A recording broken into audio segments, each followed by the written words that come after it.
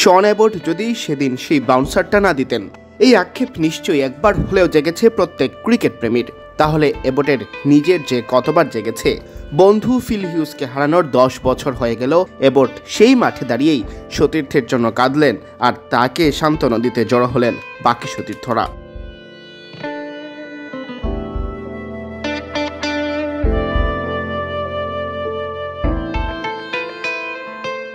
বলের আঘাতে ফিল হিউজের না ফেরার দেশে পাড়ি জমানোর দশ বছর হয়ে গেল বুধবার, সাতাশ নভেম্বর। শেফিল্ড শিল্ডে ম্যাচ চলছিল হিউজের দল নিউ সাউথ ওয়েলস ও তাসমানিয়ার।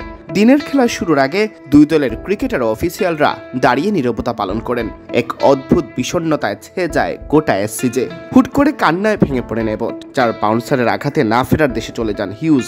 এ সময় বাকি সতীর্থরা ছুটে এসে তাকে সামলে নেন। এবট দ্রুতই সানগ্লাস পরে নিজের অশ্রু লুকানোর চেষ্টা করেন।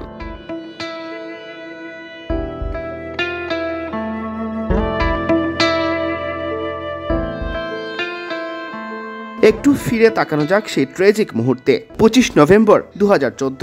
সিডনি ক্রিকেট গ্রাউন্ডে চলছিল সাউথ অস্ট্রেলিয়া ও নিউ সাউথ ওয়েলসের মধ্যকার ম্যাচ। তেষট্টি রানে ব্যাটিংয়ে ছিলেন হিউজ, বল করছিলেন শন এবট এবটের ছোড়া একটি বাউন্সার দ্রুত গতিতে এসে লাগে হিউজের বাম কানের নিচের দিকে। বলের আঘাতে মাটিতে লুটিয়ে পড়লে সাথে সাথে হাসপাতালে নিয়ে যাওয়া হয় তাকে।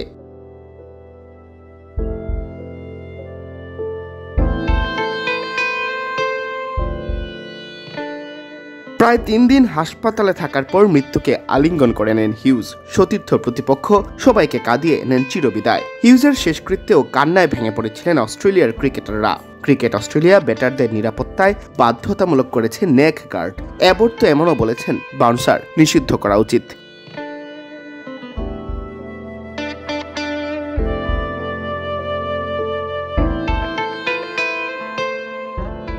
হিউজের মৃত্যুর দশ বছর পূর্তির দিনে শেফিল্ড শিল্ডে দুই সপ্তাহ ধরে বিভিন্ন আয়োজন করা হচ্ছে। ক্রিকেটার ও ম্যাচ অফিসিয়ালরা পরেছেন বিশেষ পোশাক। নিরবতা পালনের সাথে সবার হাতে কালো আর্মব্যান্ড। বর্ডার গাভাস্কার ট্রফির দ্বিতীয় ম্যাচে স্মরণ করা হবে ফিল হিউজকে।